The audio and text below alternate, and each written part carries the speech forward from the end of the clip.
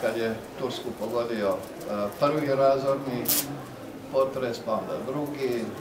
Znamo, nažalost, iz vlastitog iskustva da nakon tako razornih potresa slijedi jedno razdoblje tih afteršokova, dakle naknadnih potresa, to je u ovom trenutku nemoguće naravno predvidjeti koliko će toga biti i sa kojom jačinom intenziteta, pogotovo u epicentru. Međutim, svi podaci koji govore nisu dobri. U ovom trenutku je broj poginulih negdje oko 5000, međutim, nažalost, po svemu sudeći, to je još uvijek daleko od one konačne brojke, zbog toga što intenzivno traju radovi i poslovi vezani za otkrivanje preživjelih u ruševinama.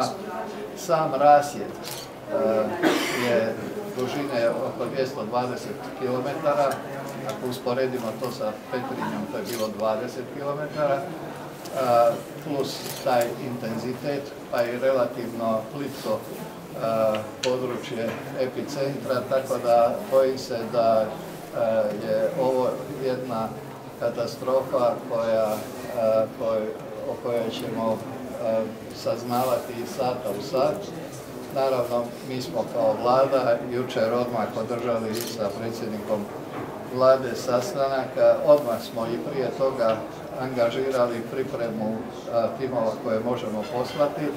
U ovom trenutku to su timovi gdje Hrvatska ima iskustva koji su specijalizirani za potragu i otkrivanje i spašavanje iz ruševina.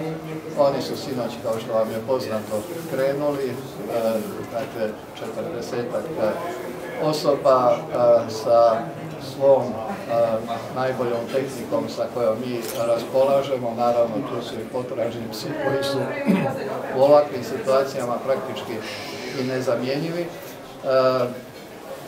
Očekujemo večeras negdje u noći do sutra ujutro da bi oni stigli na mjesto događaja.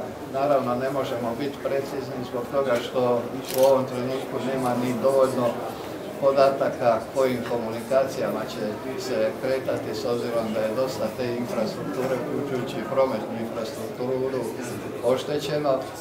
Međutim, naši tim koji smo poslali je samodostatan, što znači da praktički sve ono što je njima potrebno i za rad i za život u prvih desetak dana nose sa sobom, što je veoma bitno i mislim da je to također nešto što olakšava i turskim domaćinima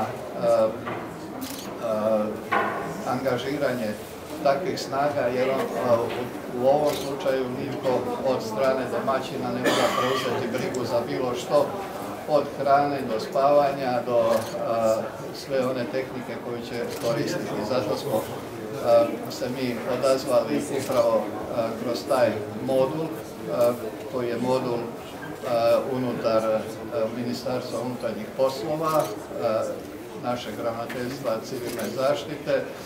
To su obučeni ljudi i protupotresni inženjeri, ali kao što sam kazao, naglasak u ovom trenutku je na eksperte koji su istrenirani u pronalaženju života, odnosno živih ljudi ispod ruševina.